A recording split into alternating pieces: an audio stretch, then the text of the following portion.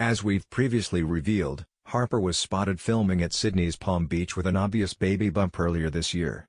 The scenes in question saw Tane fussing over her as she pulled his hand to her stomach, suggesting that she was set to fall pregnant with his baby.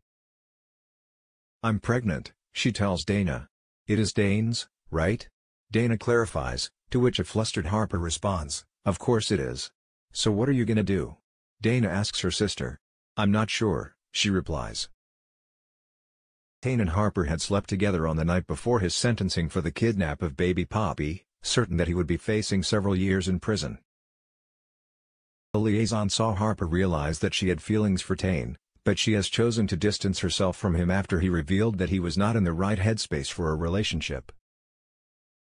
How will Tane react when he learns that he's finally set to realize his dream of becoming a father? Eden has been estranged from her father since she was 15 years old, after he left the family home to move in with the woman he'd been having an affair with.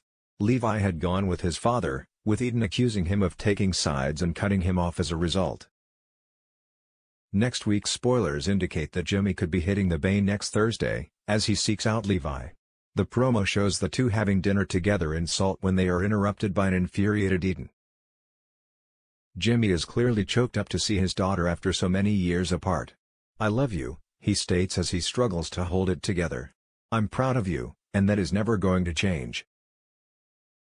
You destroyed our family, a tearful Eden replies. I never want to see you again. Whether Eden will ever manage to make things up with her father remains to be seen, but we're confident that he isn't the only new Fowler to be hitting our screens.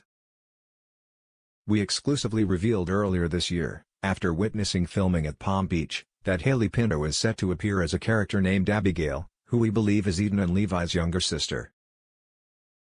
Although there's currently nothing signaling Abigail's arrival on screen, we expect she will be making her debut within the next couple of weeks.